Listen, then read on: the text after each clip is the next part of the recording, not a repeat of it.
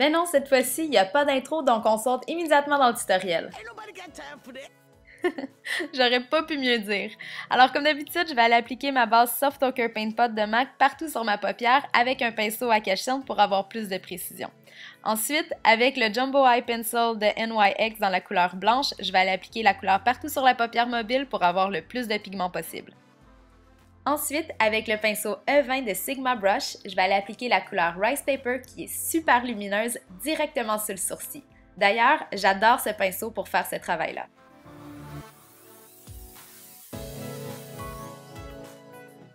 Avec le double pinceau numéro 18 de Lancôme en poil synthétique, je vais aller appliquer la couleur aquadisiaque de MAC sur toute ma paupière mobile.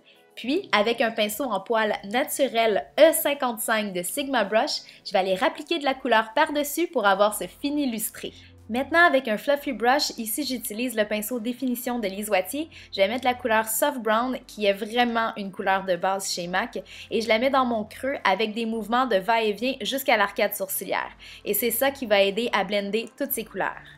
Maintenant, je prends Plumage qui est un beau bleu vert profond avec un pinceau 217 de MAC pour vraiment aller partout dans le creux du coin externe et je remonte doucement pour blender avec le doux brun et mon turquoise.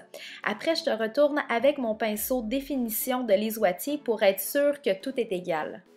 Je vais retourner avec le pinceau numéro 18 de Lancôme pour aller appliquer la magnifique couleur numéro 26 de Dior qui sont des brillants couleur argentée. On va aller les appliquer secs ou mouillés avec le pinceau à poils synthétique.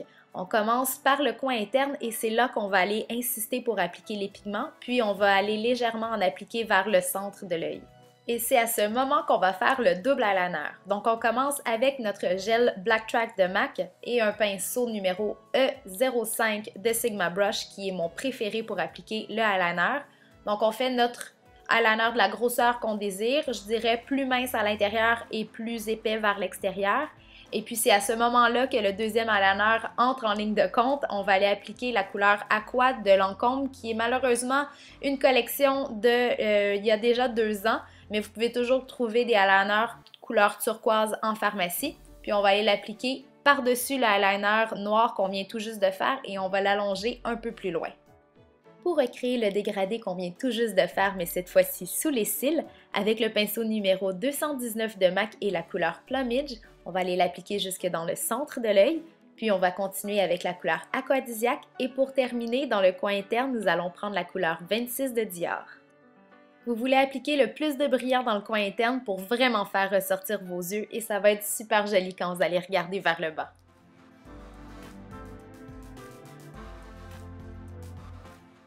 Pour terminer, je vais appliquer une bonne couche du mascara Dior Show et pour avoir un look encore plus dramatique, je vais appliquer les fossiles numéro 120 de Ardell.